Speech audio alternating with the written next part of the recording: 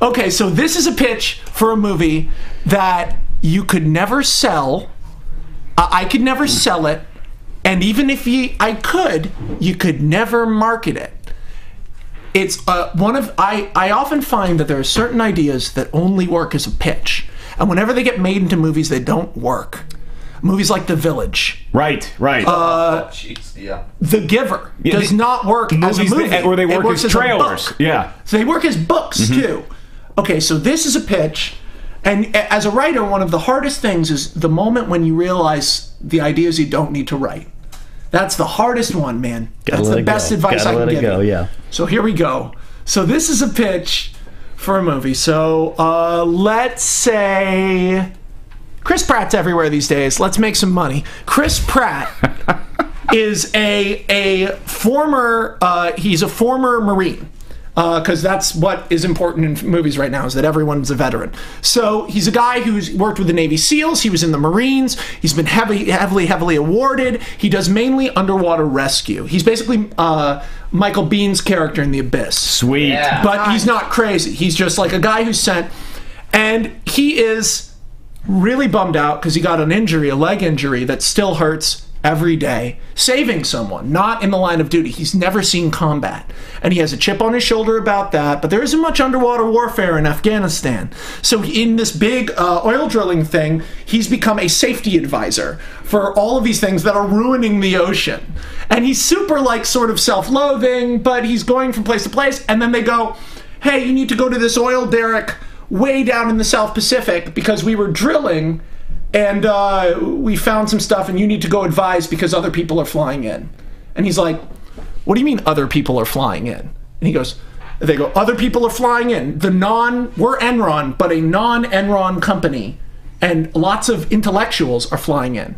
It's like, what the fuck are you saying to me right now? So they go down to the oil derrick. They were drilling at a point that's an axis point between uh, geolo- geological plates. And the plates had shifted after the huge earthquake that caused the tsunami. And a number of things have been unearthed when they were trying to find the base of the oil platform. So Enron accidentally made this incredible discovery. Now, what's the incredible discovery? Well, here's Bryan Cranston to tell us about it. He is a geologist, and he says God. he says, well, what we're dealing with here is completely submerged under the this geological plate is a space that is essentially the side of a volcano that has been dead since pre-biblical times. And we're talking 20 to 40 to 50,000 years pre-biblical. That's when uh who do we like for this? Who do we like for this? Who can I pull? Who's a good actor? Young guy. Ooh, let's do uh, let's do that Dylan O'Brien kid from the Maze Runner. Uh, he's no too young. No. Uh, Michael B. Jordan is great. That'll Yeah. work. That's when Michael B. Jordan comes out and he says, "So yeah, what we've discovered is essentially part of a continent that, through over millions of years, got shoved down and under. What we're dealing with here is dinosaur times." Some weird point, maybe during the Ice Age, that we don't know about, some kind of like middle of history, and then uh, beyond that, then biblical, then you know the end of the Ice Age, early humans, somewhere in the early humans area, a whole entire period of history that we have no knowledge of involving a continent the size of Australia. Sweet. So, so it's like, what the fuck is this? And that's when Michael B. Jordan comes out and he goes, So this is what we accidentally sucked up in our oil rig. And it looks like this rusted nothing. And he goes, This is forged steel. We think there are ruins down there. Yes. And they're like, Atlantis? That's impossible. This is incredible. Chris Pratt is like, this is a hoax. This can't be real. There, nothing could survive at that depth. Even the fact that this metal exists is ridiculous. But sure enough, they go down in the platform. These three guys, B. Jordan, Cranston, the geologist, B. Jordan, archaeologist, uh, and uh, Pratt, the uh, the main guy, go down to this thing, and we meet a bunch of other characters. I don't know, fuck it, Marion Cotillard. Uh, these She loves other, being buried in things let's- down. Let's Take put a couple elevator uh, couple cats in there for Sasha too. yeah, and there's like a cat for alien effect. Yeah. So we're now down at the bottom of the ocean in a thing like the abyss. Is this going too long? Because I, I just Truncated a little bit, but it's good. I'm gonna go Keep faster. I'm sorry. No, no, Uh, so we go down. We're in this underwater uh, pl- rescue platform, like the one in the abyss. I know, I know, but it's not the abyss. So they go down there. Uh, and on their first sojourn out, they go to the middle of the dead volcano, and both B. Jordan and Cranston Die. no Oh. take Quiet, are- they take a they take a core sample from the lava, which is all rock now, and they take it back along with seeing like wreckage of this giant structure laying on its side. Yeah. All this shit. There, there's this incredibly beautiful sequence where it feels like this, you know, uh, like da na na na. whole new Yeah, this like big adventure movie.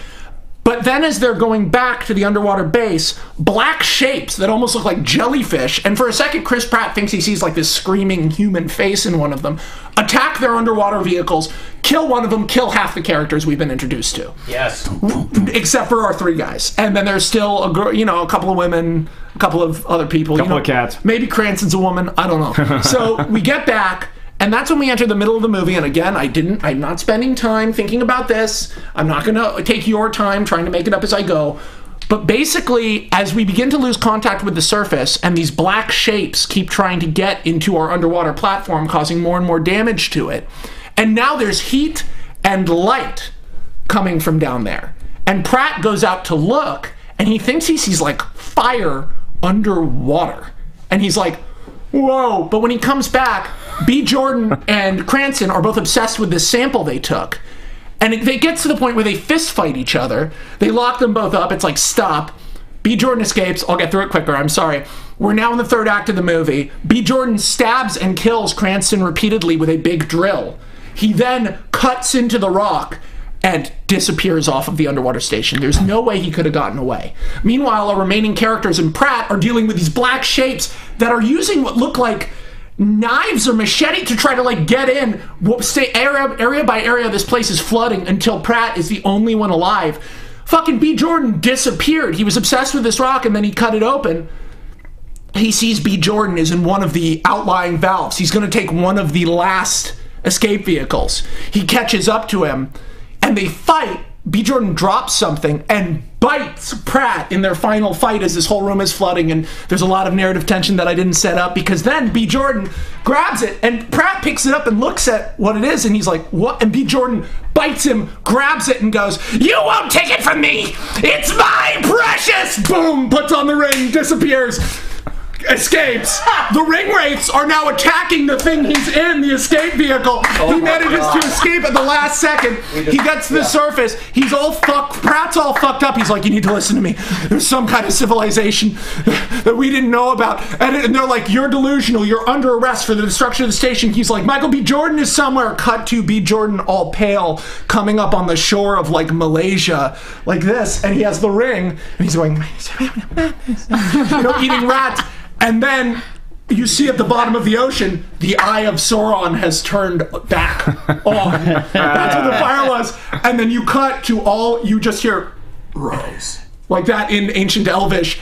And as B. Jordan is sitting there holding the ring, orc arms burst up out of the ground all around him on the shore. New trilogy, motherfucker, modern day. wow.